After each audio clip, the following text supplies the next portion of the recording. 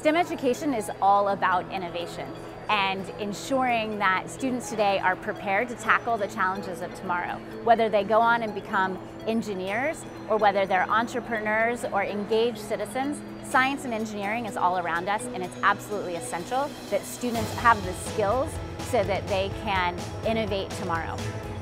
This symposium is all about inspiring teachers and other educators to take STEM principles and STEM concepts back into their classroom, infuse them, and infuse this sort of love of learning, curiosity, and excitement for their kids.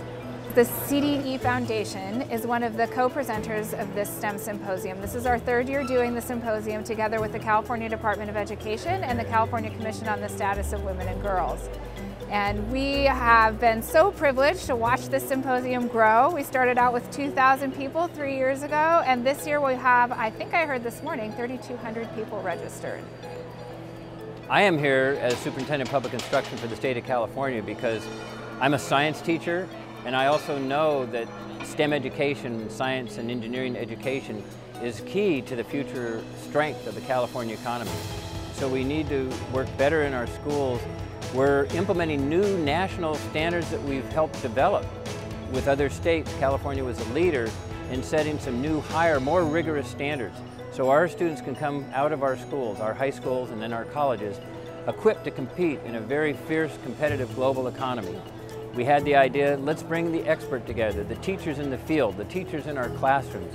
Let's have them work and share their best practices, their best lesson plans, how they excite students at their school, and clone the ideas and get it out there. And then have our teachers here go back motivated and excited to their classrooms and get students motivated and excited about education I myself am a science teacher, um, been an eighth grade middle school teacher for 25 years, and I'm actively involved in implementing the next generation of science standards. And as I do that, I can see more and more the connections of technology, engineering, and math to my students understanding the science concepts, collaborating with each other, using them all as a tool to get a real understanding of concepts at a much deeper level. So when all of those things come together, students get a more real world full view of what is happening with science, technology, engineering, and math as a whole and not as separate topics.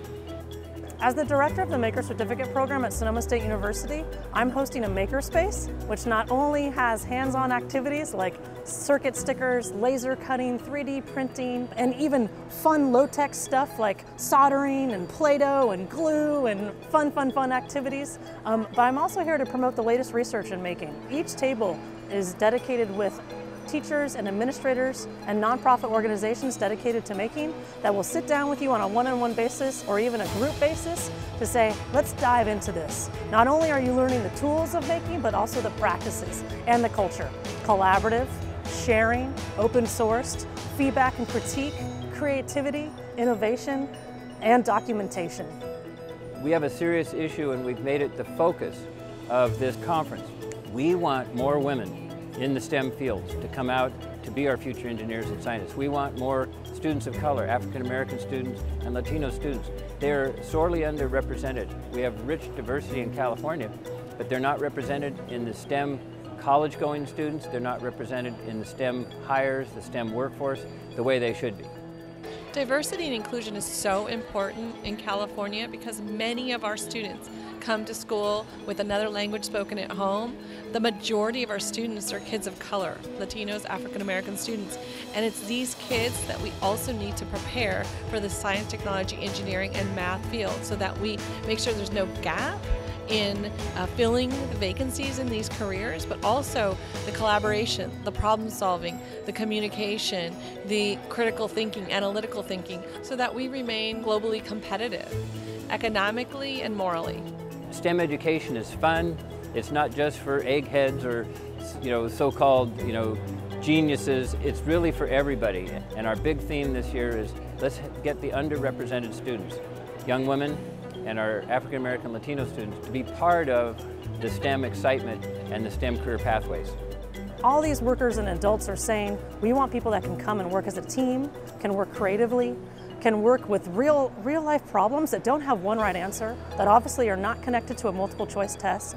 And so to have inquiry-based, project-based learning that's hands-on, that's challenge-based, really lends our students to not only create the dispositions we want of workers, but also of citizens. This isn't about just getting a job in the future, this is about excelling. Not only is it self-fulfilling um, and gratifying, but it's also in a sense empowering, that I can be an engineer, I can be a scientist, I can be a mathematician, and that's why STEM education is important.